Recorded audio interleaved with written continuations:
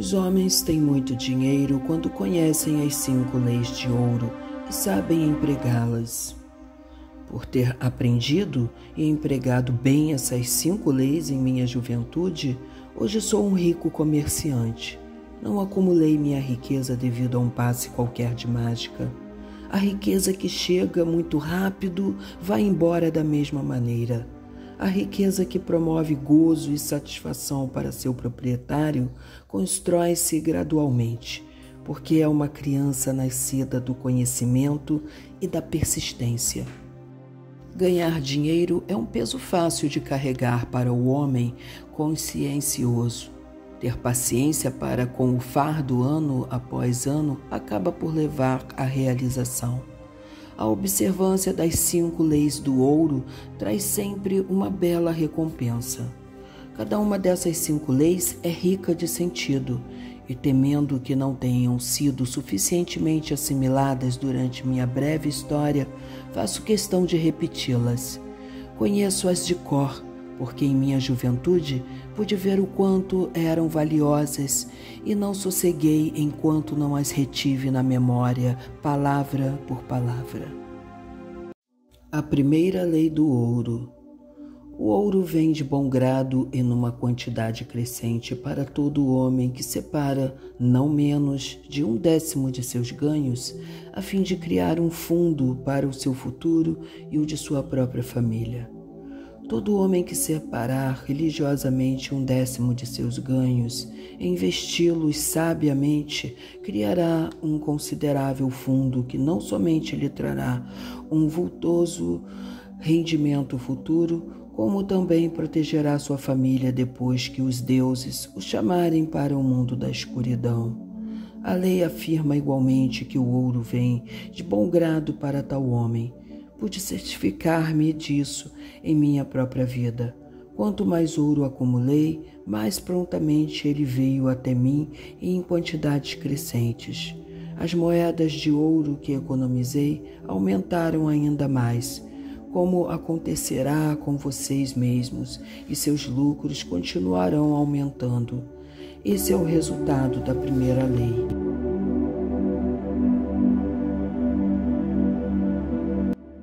Segunda lei do ouro.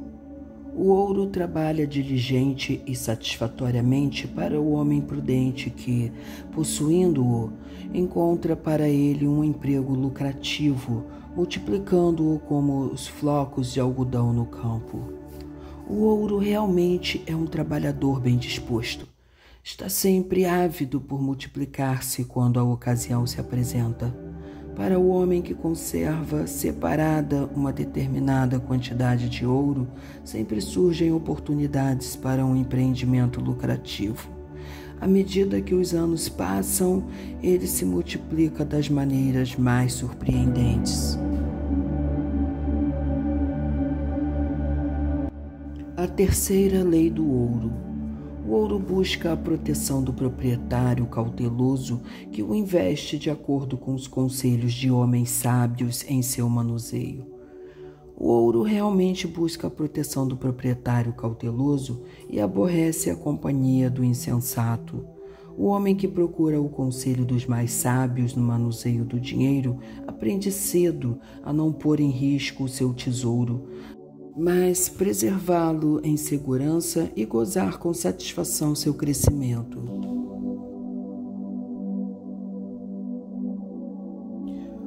A quarta lei do ouro. O ouro foge do homem que o emprega em negócios ou propósitos com os quais não está familiarizado ou que não contam com a aprovação daqueles que sabem poupá-lo. O homem que tem moedas de ouro mas não é hábil em seu manuseio, depara muitas vezes com situações aparentemente lucrativas. Tais situações são a miúde prenes de perigo, de perda e, quando bem examinadas por homens sábios, revelam pequena possibilidade de lucro.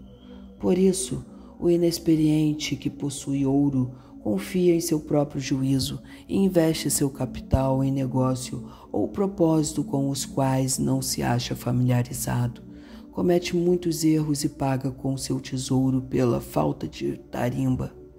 Sábio, aliás, é aquele que investe o seu dinheiro de acordo com o conselho dos homens acostumados a lidar com finanças.